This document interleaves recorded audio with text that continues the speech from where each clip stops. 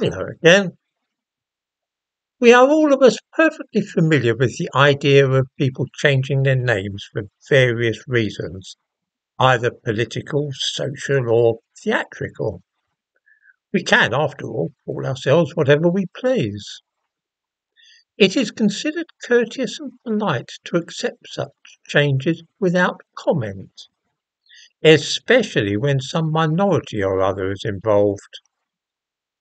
You will, for example, not see Caitlyn Jenner referred to in the newspaper as Caitlyn Jenner, real name Bruce.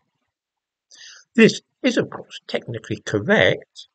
It would be thought needlessly rude or even cruel. But then Jenner is a trans person and deserving of great sensitivity and respect.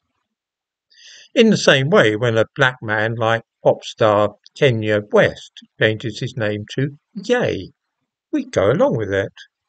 Just as we did when Cassius Clay started calling himself Muhammad Ali a few years ago.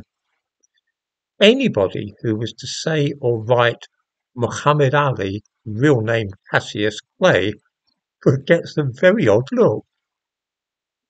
We don't see John Wayne, real name Marion Morrison either, if it comes to that. The convention has changed abruptly and very noticeably for a man called Tommy Robinson. This is the name he has chosen to call himself by, and of course any of us can call ourselves whatever we want. There's no need for any tiresome formalities such as changing your name by deed poll. The law in this country is very clear on the point. As long as you're not using another name to obtain pecuniary advantage, as the law puts it, meaning provided you're not doing so as part of a swindle, then you can use any name you please. I have set out the matter at some length, saying what we all of us already know, in order to point out the weirdness of the fact that we all abide by these unspoken rules all the time, except in one single case, which is, of course, that of Tommy Robinson. You will always see his name in newspapers followed by the phrase, real name Stephen Christopher Yaxley Lennon. This is particularly so the more left wing the newspaper or website is. Such places make a positive fetish of using the name Stephen Christopher Yaxley Lennon rather than his preferred and chosen name of Tommy Robinson. Why do they do so? After all, if somebody called Dave Smith announces that he is a woman and wishes henceforth to be known as Felicity Jane, then people will fall over themselves in their eagerness to use the new chosen name. Anybody referring to that person as Dave will be roundly ticked off. There is even a name for this particular kind of rudeness.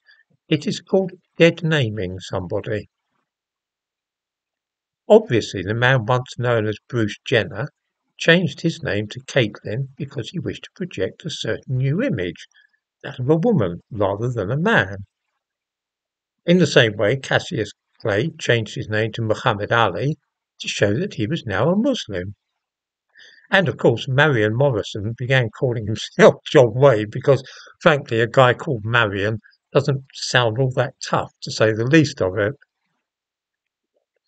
I have no doubt at all that similar motives lay behind Tommy Robinson's choice of name.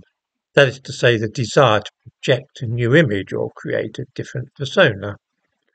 The use of the name Tommy, which is of course redolent of the archetypal British soldier, was hardly a random act. So why is Tommy Robinson alone singled out in this way by being treated in such a fashion as no trans or black person ever would be? My own suspicion is that it is because he is a white heterosexual man, but I'm certainly open to other explanations if anybody is able to offer one.